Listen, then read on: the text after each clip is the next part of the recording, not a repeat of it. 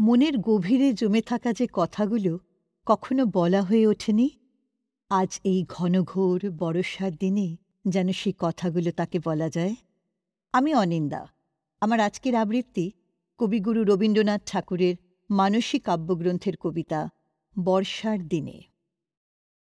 এমনও দিনে তারে বলা যায়, এমনও ঘন ঘোর বরিশায়, এমনও মেঘস্বরে বাদল ঝড়ো ঝরে তপনহীন ঘন তমসায় সে কথা শুনিবে না কেহ আর, নিভৃত নির্জন চারিধার দুজনে মুখোমুখি, গভীর দুঃখে দুঃখী। আকাশে জল ঝরে অনিবার, জগতে কেহ যেন নাহি আর। সমাজ সংসার মিছে সব। মিছে জীবনের কলরব, কেবল আঁখি দিয়ে, আঁখির সুধা পেয়ে, হৃদয় দিয়ে হৃদয় অনুভব, আধারে মিশে গেছে আর সব।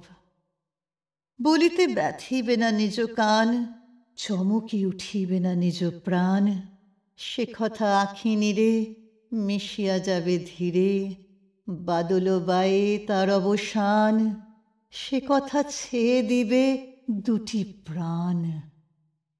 তাহাতে এ জগতে ক্ষতিকার, নামাতে পারি যদি মনোভার।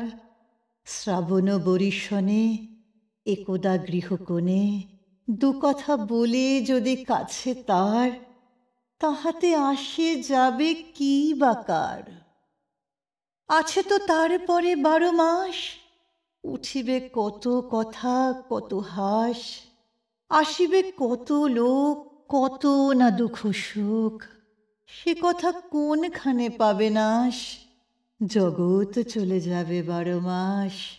ব্যাকুল বেগে আজি বহেবায় বিজুলি থেকে থেকে চমকায়।